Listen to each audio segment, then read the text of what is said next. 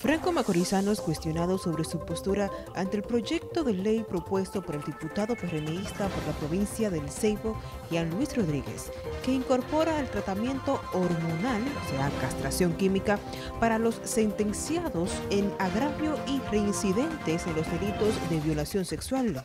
Afirmaron apoyan esta iniciativa. Claro que estamos de acuerdo a eso, que escapen todos los violadores, porque un violador, ¿qué es lo que es un violador?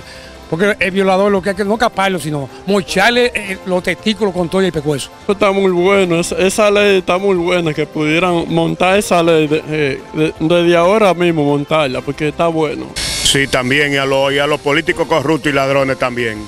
Eso es lo primero que tienen que hacer. Claramente que sí, si aquí, si aquí por lo menos la ley se llevara paso a paso, aquí no, fuera, no hubiera tanta delincuencia. Muy bien queda eso, sí, para que no sigan haciendo eso. Adiós, pues eso haciéndole daño a la sociedad que están violando muchachitas inocentes y, niños. Eso está bien que lo catren a todos los que encuentran en la calle. No, esa gente hay que hacer como en China, que al que malo salen de él. Esa gente hasta con el dedo pueden hacer daño. Esa gente lo que hay que matarlo y quitarlo a la sociedad. Seguramente que sí, porque están acabando con la niña. Adiós, que lo pongan ahí, que no sirvan para nada. El referido proyecto propone además, dentro de la creación, un registro nacional monitoreado de violadores. Giovanni Cordero, NTN, su noticiero regional.